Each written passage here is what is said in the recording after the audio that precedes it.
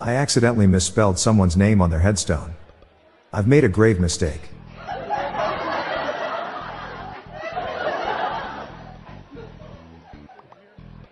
I worked really hard on a party to blend my Mexican and Norwegian heritage, but in the end it was just a big disappointment. What did I expect from a fjord fiesta?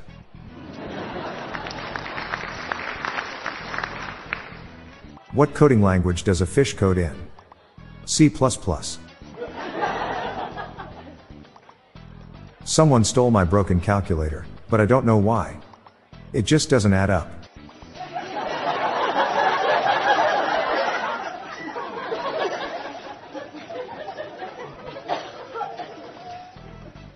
A Mobius strip walks into a bar, sobbing. The bartender asks, What's wrong? The Mobius strip replies, Where do I even begin?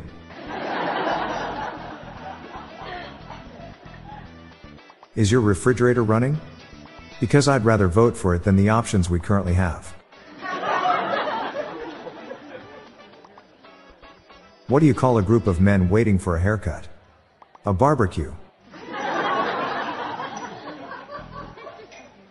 How do you get 100 math teachers into a room in which only 99 fit? You carry the one.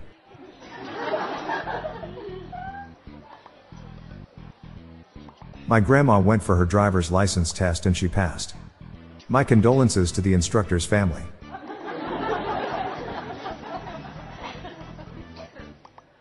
At the bus stop this morning, I found a suitcase of little furry kittens.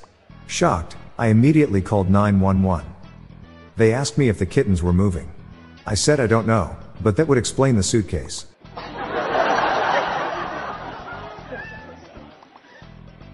I'm Bob Jeffy. You don't want to miss this. There's a bonus dad joke waiting for you at the end of the episode. Let's spread some happiness, or pain, with these jokes. Wishing you a great day, and I'll be back with more jokes tomorrow. Thank you for tuning in.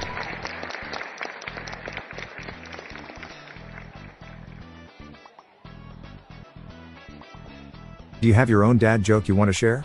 Join the hundreds of listeners who have submitted their own dad jokes through my voicemail.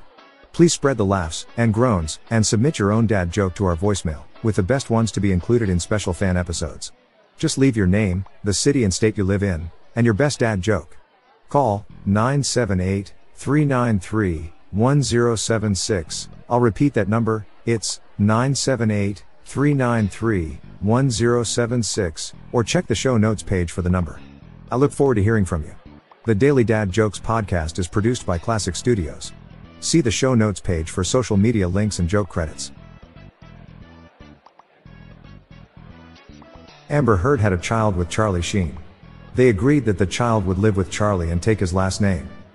The child was to be Sheen, not Heard.